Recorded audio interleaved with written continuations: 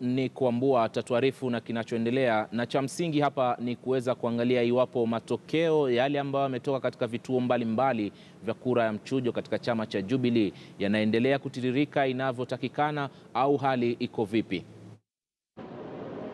Naam, shukran sana Ali Manzu. Hali hapa katika uwanja wa Nyayo ni shwari kabisa, tukizidi kupokea matokeo kutoka maeneo tofauti, ambayo bila shaka uteuzi ama shughuli hii ya kura ya mchujo basi iliweza kufanyika hapo jana. Na hesabu ikaanza kufanya mapema leo, na bila shaka tumekuwa hapa tangu mida asubuhi, lakini taarifa tulizonazo kwa sasa ni kwamba kufikia saa kumi e, siku ya leo basi saa kumi za mchana ni kuwa seneta wa Nairobi Mike Mbuvi Sonko ambaye anawania kiti cha gavana basi ameweza kuwa akiongoza ama akimpiku e, mwenzake Peter Kenneth ambaye bila shaka Mike Sonko kufikia saa kumi katika vituo tisa ambazo zilikuwa zimewasilisha e, matokeo yake katika kituo hiki kikuu cha kuhesabu kura za mchujo katika chama cha Jubilee alikuwa ameongoza kwa kura uh, 68,208. E, Peter Kenneth bila shaka ambaye ako kwa nafasi ya pili alikuwa na kura 28,861.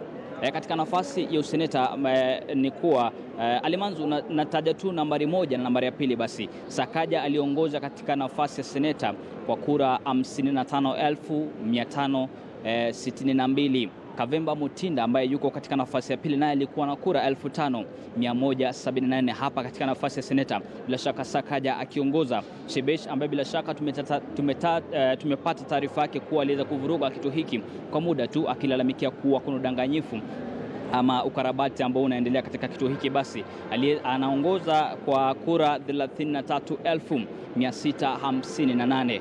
Naye Omanga bila shaka anaongoza kwa kura 18,622. Manzo, hayo tu ni matokeo ambayo, baadhi ya matokeo ambayo tumepokea kufikia saa kumi eh, lakini kwa sasa bado jicho lipo, tunazidi kuangalia eh, manake kura bado zinazidi kuingia eh, yale masanduku ya kura kutoka maeneo tofauti ama vituo tofauti vya kupiga kura, basi yanazidi kutiririka.